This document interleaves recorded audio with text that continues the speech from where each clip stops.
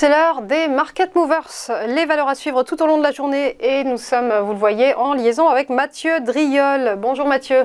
Bonjour Roselyne. Vous êtes analyste senior chez Day by Day.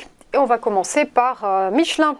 Séance gonflée hier pour le leader mondial de pneumatiques.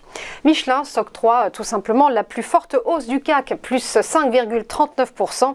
Et euh, on attend la publication des résultats trimestriels. Peut-être euh, sont-ils d'ores et déjà tombés d'ailleurs ce matin. Une très, vive appréciation, en effet, hier, euh, qui fait suite à, la sortie par, le haut d'une figure de, compression, de fin de tendance en biseau descendant. Euh, ce sont les deux traits bleus sur le graphique. C'est une figure, en fait, qui est très intéressante, qui montre, en fait, un épuisement euh, de la dynamique baissière en place hein, depuis l'été, depuis le test, le double test de la résistance majeure à 30,80. Les cours de Michelin se dégradaient régulièrement jusqu'à jusqu'à le support aux alentours des 22 euros. Les cours en sont donc sortis par le haut de cette figure de fin de tendance il y a quelques jours de cela, un petit pullback sur le support à 23,04 et les cours sont au contact de 24,85 hier soir c'est un niveau qu'il faut déborder.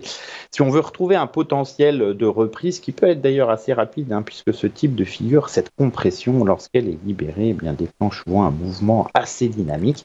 La prochaine résistance serait à 28,60.